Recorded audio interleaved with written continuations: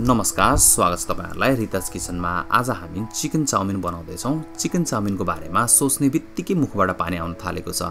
आजको यो chicken chowmein बनाउन एकदमै सजिलो छ र स्वाद पनि एकदमै मिठो छ। आजको यो चिकन चाउमिनलाई मैले सकेसम्म अथेन्टिक एसियन स्टाइलमा बनाउने कोसिस गरेको छु। आशा छ तपाईँहरूलाई अवश्य पनि मनपर्नेछ। यो चिकन चाउमिन बनाउन चाहिने सम्पूर्ण सामग्रीहरूको लिस्ट हेर्नलाई डिस्क्रिप्सनमा क्लिक गर्नुहोला र यदि तपाईँहरूले हाम्रो च्यानललाई सब्सक्राइब गर्नुभएको छैन भने अवश्य पनि गरिदिनु होला आउनुहोस् सुरु गरौँ। आजको यो रेसिपी आजको रेसिपी बनाउनलाई सबैभन्दा पहिला त हामीले पास्ता उमाल्नु पर्ने हुन्छ। पानी राम्रोसँगले उम्लिन थालेपछि अनि त्यसमा हामीले दुई सय ग्राम जति पास्ता एड गरिदिन्छौँ र यसलाई हामीले दसदेखि बाह्र मिनट मिनटसम्म राम्रोसँगले उमाल्छौँ। प्याकेटमा हेर्नु होला कुनै कुनै पास्ता दसदेखि बाह्र मिनट उमाल्न पर्दैन।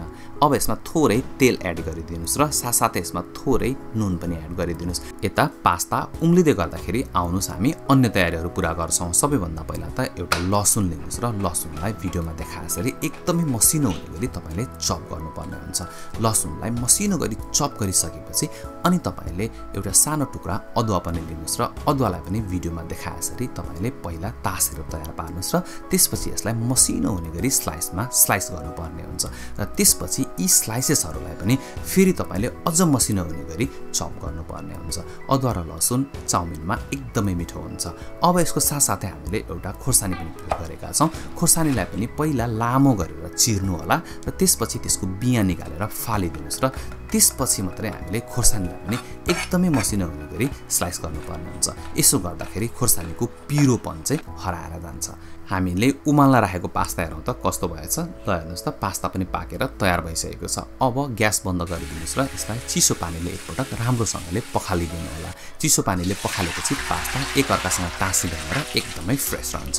अब यसलाई एउटा ड्रेनरमा तपाईँले पानी ड्रेन गरिदिनुहोस् र यसलाई रेस्ट गर्न एकछिन छोडिदिनुहोस्। अब आउनुहोस् हामी चिकनलाई मेरिनेट गरेर तयार पारौँ। त्यसैले सबैभन्दा पहिला त हामीले चिकनलाई मसिनो हुने गरी स्लाइस गर्नुपर्ने हुन्छ। चिकनको स्लाइस चाहिँ एकदम ठुलो साइजको नबनाउनु होला। एकपटक पटकमा मुखमा खान सकिने साइजको बनाउनु होला र त्यसपछि चिकनलाई एउटा बोलमा ट्रान्सफर गरिदिनुहोस् र त्यसमा एकदेखि डेढ चम्चा जति सोया सस एड गरिदिनुहोस्।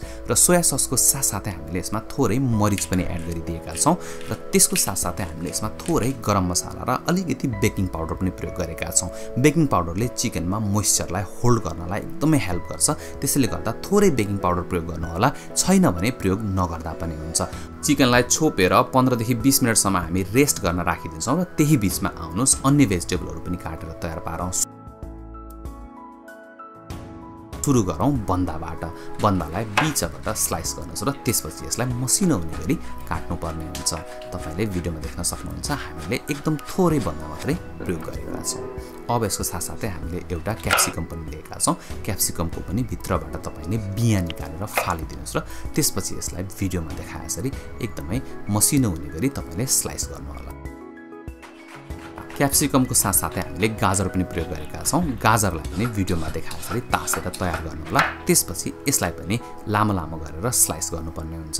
हामीले क्याप्सिकम र गाजरलाई लगभग उस्तै देखिने गरी लाम्चो लाम्चो आकारमा स्लाइस गरेका छौँ। साथसाथै हामीले प्याज पनि प्रयोग गरेका छौँ। प्याजलाई पनि भिडियोमा देखाएसरी तपाईँले लामो लामो गरेर स्लाइस गर्न सक्नुहुन्छ।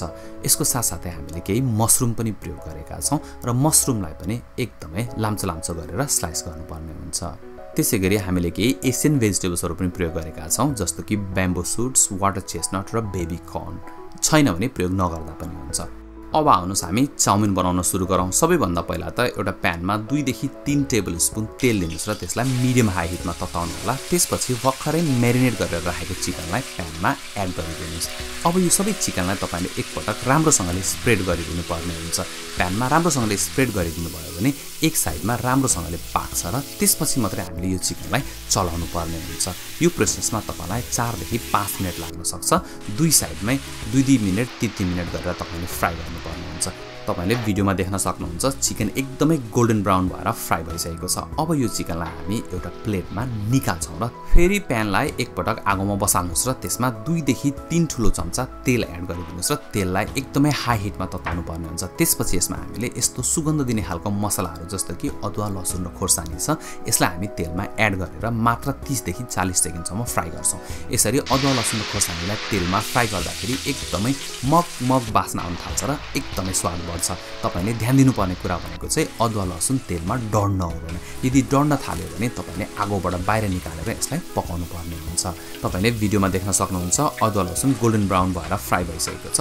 अब आउनुहोस् यसमा एक एक गरेर सबै भेजिटेबल्सहरू एड गरिदिनुहोस्। सबैभन्दा पहिला यसमा च्याउ एड गरिदिनुहोस्। त्यसको साथसाथै तपाईँले गाजर प्याज र अन्य भेजिटेबल्सहरू जस्तो कि क्याप्सिकम र एसियन भेजिटेबल्सहरू हुन्छन् त्यो पनि एड गरिदिन सक्नुहुन्छ। यो सबै भेजिटेबल्सलाई हामीले दुईदेखि तिन मिनटसम्म हाई हिटमा फ्राई गर्नुपर्ने हुन्छ। हाम्रो उद्देश्य भनेको भेजिटेबललाई पकाएर फ्याक्दै बनाउने होइन कि भेजिटेबललाई हल्का क्यारामेलाइज गर्ने ताकि खाँदाखेरि चाहिँ क्रन्ची होस्।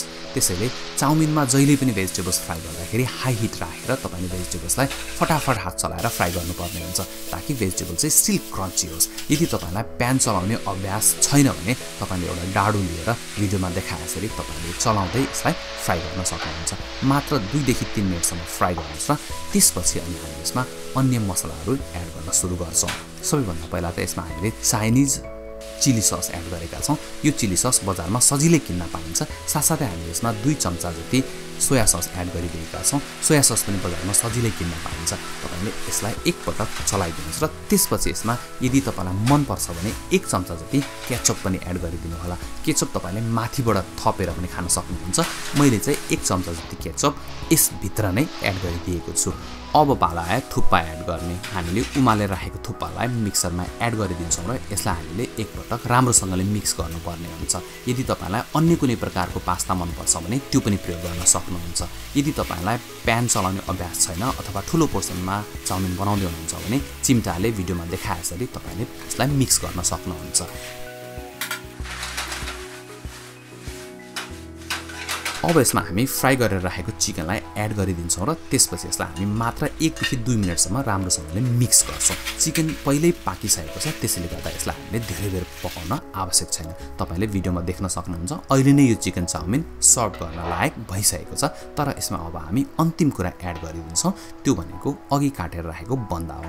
बन्दालाई हामीले एकदम अन्तिममा मात्रै एड गर्छौँ किनकि बन्दालाई सुरुमै एड गऱ्यो भने पाकेर फ्यात्तै हुन्छ र खाना मजा आउँदैन। अहिले अन्तिममा एड गऱ्यो भने यसमा पनि हल्का क्रन्चिनेस बाँकी रहन्छ र खाना एकदमै मजा आउँछ। ल हेर्नुहोस् त एकदमै हेर्दैखेरि खाउँ खाउँ लाग्ने चिकन चाउमिन बनेर तयार भइसकेको छ। यदि तपाईँलाई भेजिटेरियन चाउमिन मनपर्छ भने तपाईँले चिकन स्किप गर्न सक्नुहुन्छ। छैन त्यो रेसिपी बनाउन एकदमै सजिलो। तपाईँ पनि यो रेसिपी यसरी नै बनाउने प्रयास गर्नुहोस् र कस्तो भयो मलाई कमेन्ट गरेर चाहिँ अवश्य पनि भन्नुहोला। आजको रेसिपी तपाईँहरूलाई मन पऱ्यो भने त त्यसो भए लाइक कमेन्ट र सेयर गरिदिनु होला। साथै हाम्रो च्यानललाई सब्सक्राइब गरेर हामीलाई सपोर्ट पनि गरिदिनु होला। अर्को रेसिपी लिएर फेरि आउनेछौँ। आजलाई धेरै धेरै धन्यवाद।